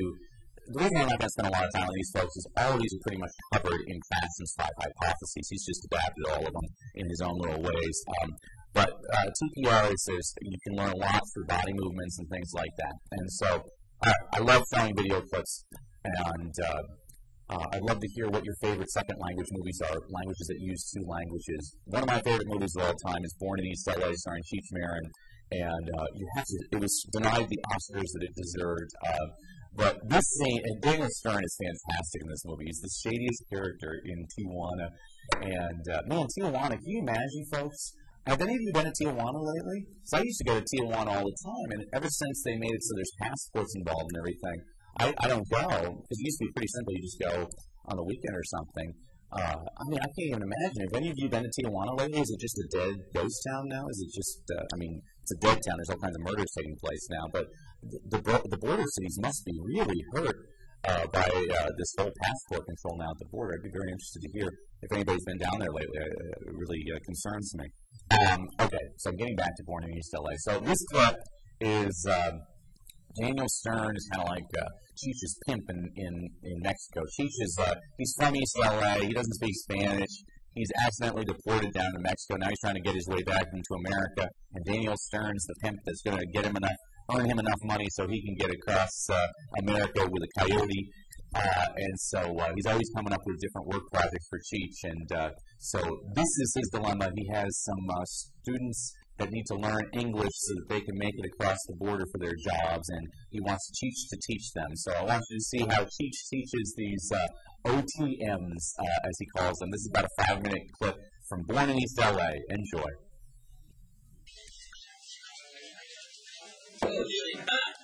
Oh, hey. Uh, listen, then uh, you got another job for me? I ran out of business. Uh, yeah, you know, as a matter of fact, I do. Seeing as you're from East LA and all. yeah, yeah, I got something that's right up your sidewalk. Yeah, hey, you, yeah, those boys. You see those boys out there? Yeah. Yeah, now those boys, they got jobs up in East LA as soon as they get there. But the problem is, last time they was up there, they got popped because they don't speak no English. You see. Now, what I want you to do is, I want you to teach them to kind of, you know, blend in and stuff. All I gotta do to blend in in East LA is look brown. Now, you want this job or not? The job pays, uh, it pays, uh, oh, ten, ten dollars a lesson. Yeah, I get, uh, I get four, you get six. How's that sound? Why don't you just teach yourself and keep the whole thing? All right, I'll tell you what. 50-50, what do you say? Let's go before it changes again. All right. Oh, yeah, by the way, yeah, these guys here, they don't speak Spanish either. No, these are OTMs here. OTMs? Yeah, well, the Border only got two classifications. They got Mexican, and they got other than Mexican. OTM, that's right. You're catching on here. Now, these boys here, I think they're Chinese or Indian or something. Don't worry about it. We'll piece of cake. All right, boys, listen up. Now, this right here is your new professor, or right there. You listen to him, okay? Good.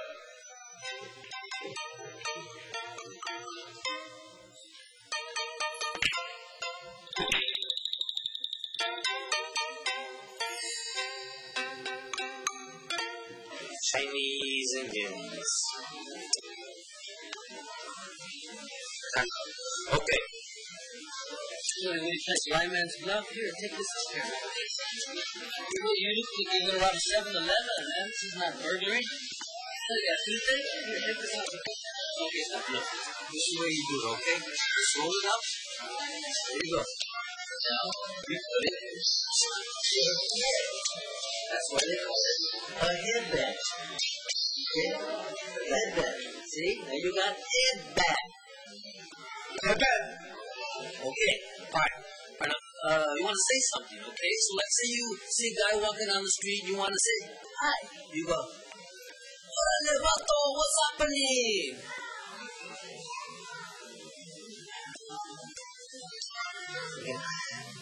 Órale, vato, what's happening?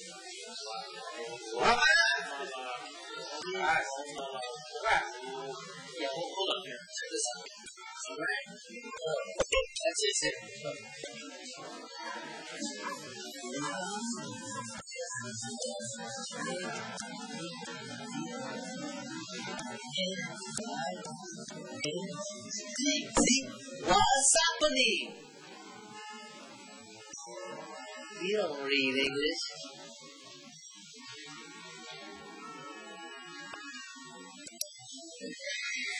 What's happening? What's happening?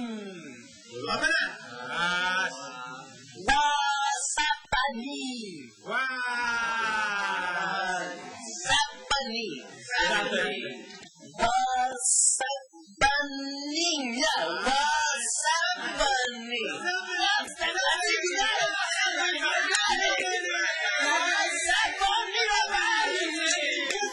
All you gotta have attitude is just lower your head there. I see like this, man, okay?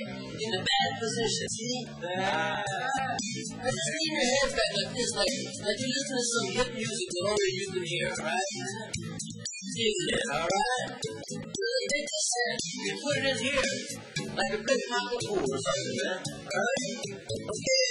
Now this hand, go back here, like, like you just cut one. You want to see where the smell. So it goes back here, you smile, right? Man. So I know what's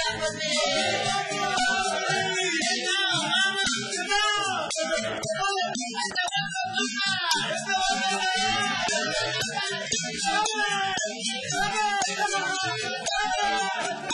sloppy. Shake, all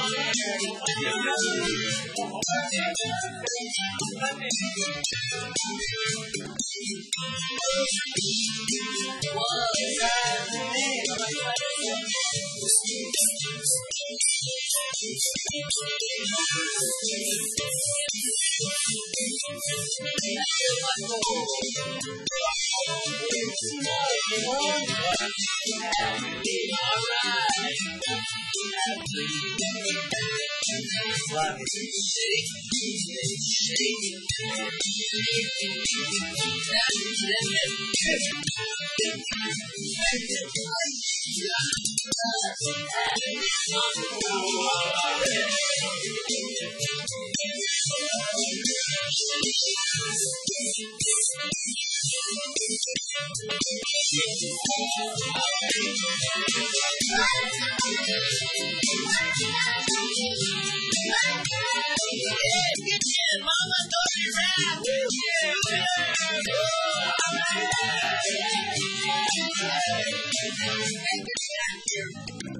Relax, relax, man. This little tattoo's gonna make you down right in.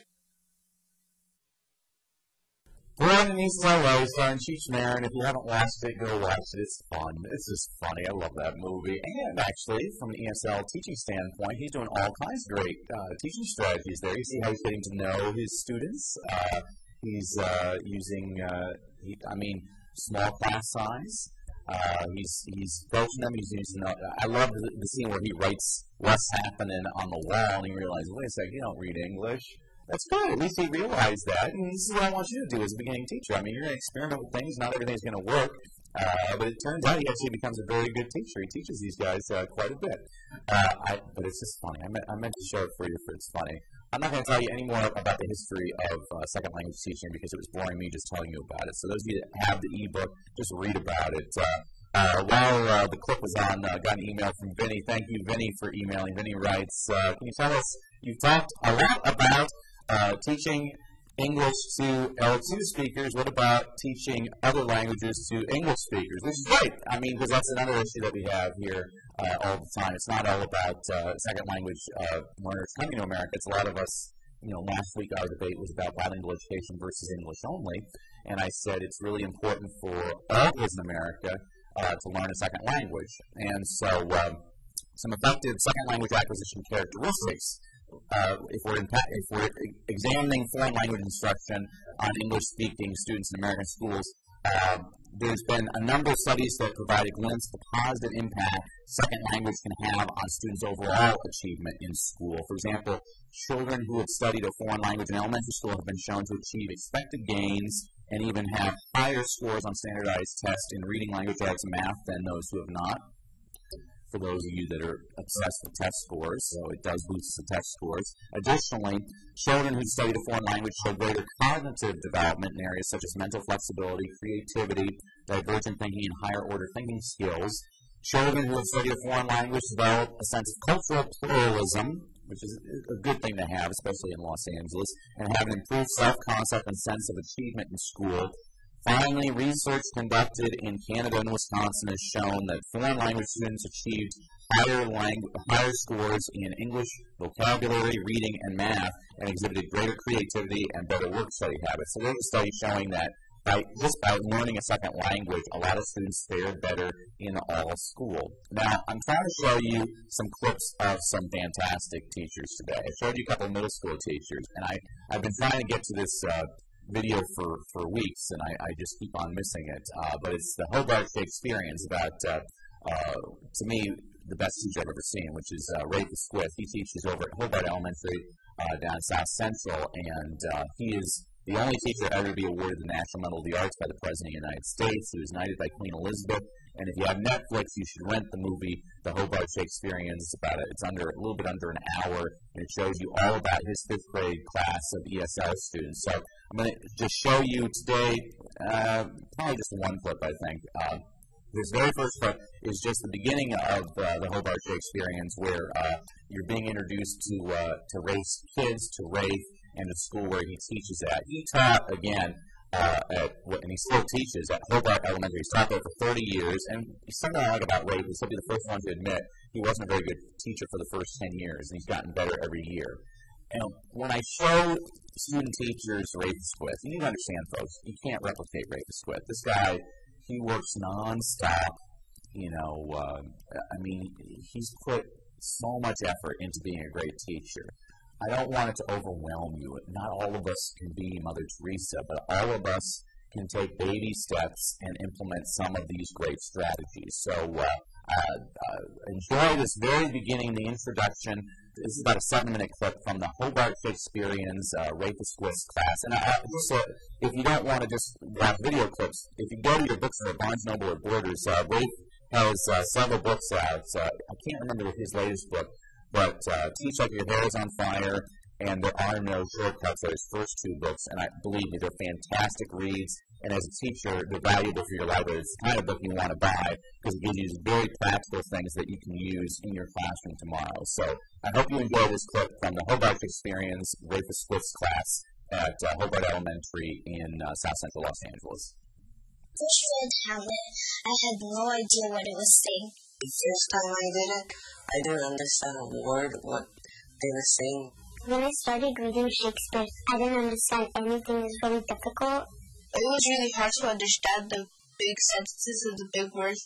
I wasn't really sure what Hamlet was because I never heard of William Shakespeare. First, when I read Hamlet, I, I didn't know what it what it meant, but Ray's kids kept uh, in explaining us like five times like every time, and now I got it.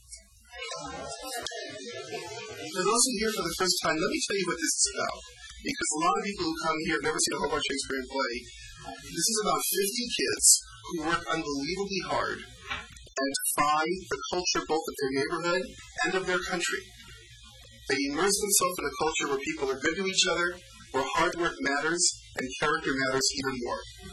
It has been an honor for this.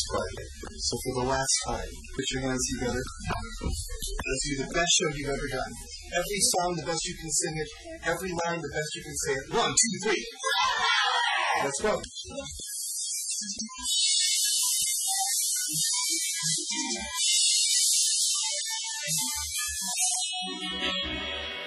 The place the theme, wherein thou catch the conscience of the king.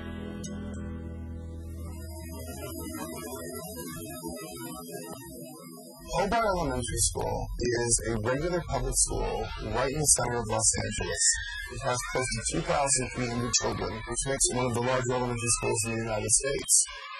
We have what's known as a year-round school, so we begin in July and end in April. This is a regular fifth grade class. We do all subjects all day. Shakespeare is actually a very small part of our day that we do after school. Most of the kids here are 10 years old, and I love teaching this age level because ounce of prevention is worth a pound of cure. I like to get kids on the right track early.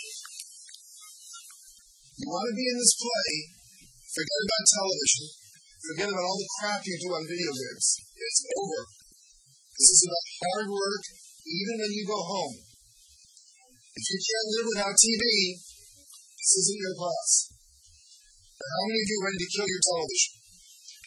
Good. It's the worst thing in your house.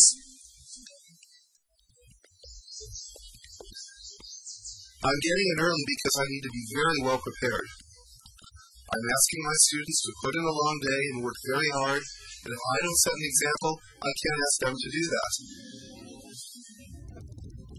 When I began teaching here over 20 years ago, it was a poor neighborhood. These days, it's a poor neighborhood, and it's also a rough neighborhood. And it makes it very difficult for the children going to school there. The children who go to Hobart Elementary School are almost all Latino or Asian. For example, in my class this year, none of the children spoke English as their first language, and all of them speak their home language at home. I was raised in a home where I was told to try and make a difference. And for me, with my particular skills and passions, I thought the classroom was the best place to do that.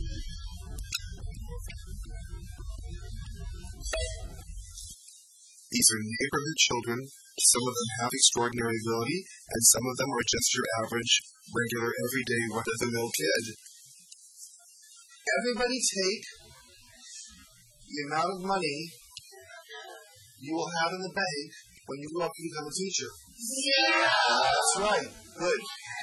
Add to that the number of justices that sit on the United States Supreme Court. That, that.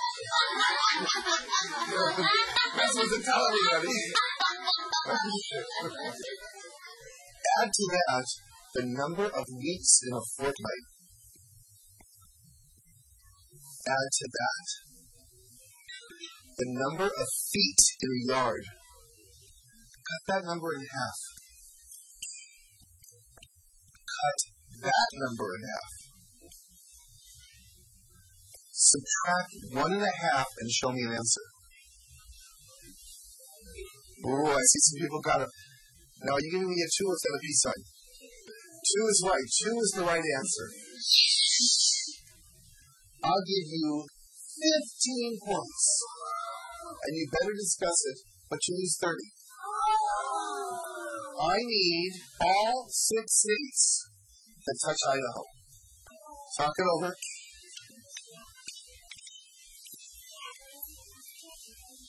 Fifteen for thirty.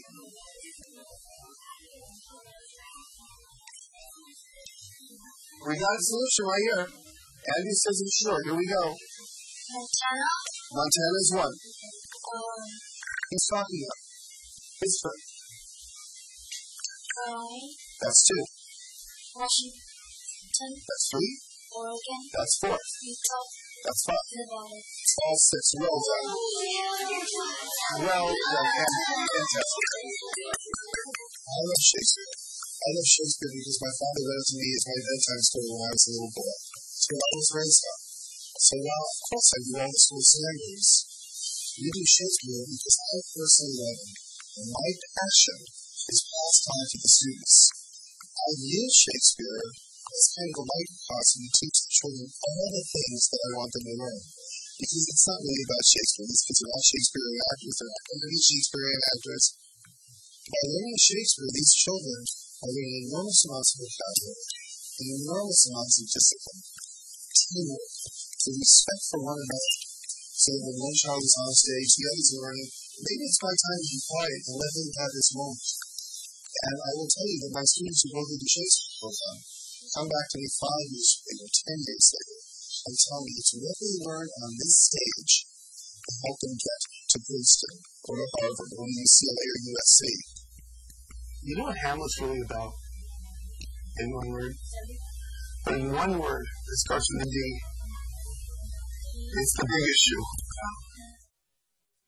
I mean, folks, he is an amazing teacher. And again, what's good for ESL students is good for all students. I mean, his students, are ESL students, folks.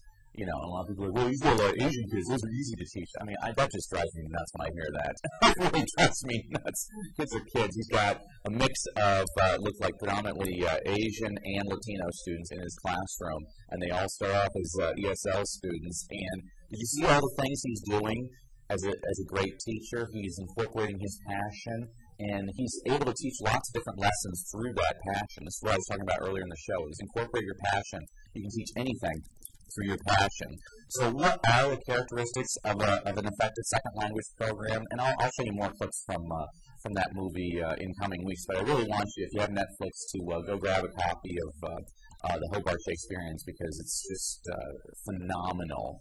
it's you know the Waiting for Superman to me is a depre- I haven't seen it, but everything I hear about it, sounds like depressing, which I don't need to see the movie. I've lived that by being in the schools, uh, you know, and I've been debating people on it for the last uh, month. Uh, you know, I like things that get me inspired, and this this movie will inspire you. It shows you uh, what a great teacher has to do, and he works his butt off uh, to be that great teacher. Um, but uh, some things that I see great uh, in, in great effective second language programs.